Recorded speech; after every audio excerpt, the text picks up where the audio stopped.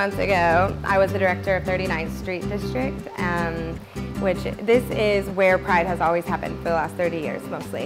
Um, and it is the historic gay entertainment district, and it is in the process of revitalization. But taking on a festival and parade as big as this one was a little bit much for an, a, a nonprofit commercial district with a budget of less than like 30 grand, right? Like, I mean, it was, that's kind of a big deal. Um, it just made sense to start a new organization. We did that in April. We have 10 people on our actual board and closer to 30 people on our advisory council that are all professional people, members from the community that have either been involved before, but a lot of people have never been involved in Pride. They've never been involved. They, you know, they've done opening night, they've planned arts fest. There's a lot of people that are now involved in Pride that maybe haven't been in the past um, and that's really exciting. Lots of fun changes, some out of necessity and some out of just like trying to make a better Pride. Um, some of the ones out of necessity were that we needed to reduce the cost and the scope of Pride this year because we're kind of in a regrouping transition year. Um, and so we've moved the parade to Saturday. So you're normally been on a Sunday. We, um, but it's usually been the last thing that happens for Pride, and instead we decided, what if we kick off the whole festival in, in the day with the parade and start with that? Because if you've ever been to the Pride Parade, it is a lot of people. Estimates have been as high as 85,000 people um, that line this street. Everyone who's ever been in the parade will tell you that when they come up over that hill, walking down the parade, and they see, you know, tens of thousands of people screaming and, and waving pride flags that it's like the best feeling ever.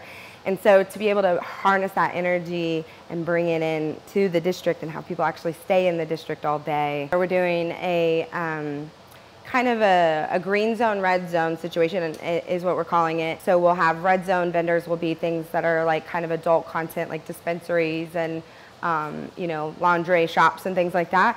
Um, and we'll have that in a, in a like designated uh, fenced in area.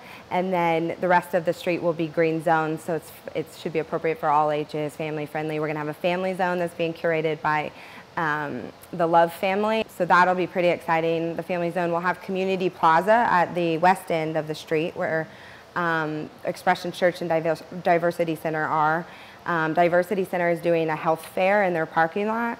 So health and wellness related to LGBT stuff will be there in their parking lot. And then on the east end, which is where most, most things have usually happened, it will still be where most things happen. There will be a main stage, um, there will be food trucks, beer tent, all, the, all of those good things that we've always had. Because we are a new organization and, and because we are transitioning from the previous year, we did a full rebrand um, and we worked with nominee agencies. But in that process of, of the rebranding, they, off, they had this idea to do a Faces of Pride um, campaign. So it started out that we, we started shooting pictures and we posted them on our website and our social media to show like these are, these are your, this is your community, you know?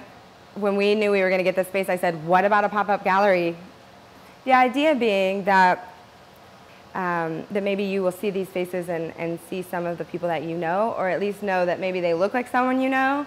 And, uh, and so, you know, the LGBT folks of this community are diverse and, and vast and multitudes. Like, I don't think people realize how many there are um, just because, like, maybe we're not all visible, but we're, but we're living lives. And so um, by sharing their portraits and then also their interviews. Everything is a, this is a excerpt from one of the interviews from Faces of Pride. And it's like what it's like to be LGBTQ in Oklahoma. And it's not easy for everyone. For some, some people have an easier time than others. And I think you see that as you, as you read through the stories. Um, but to us, that was a really important thing to share and to highlight um, with our community.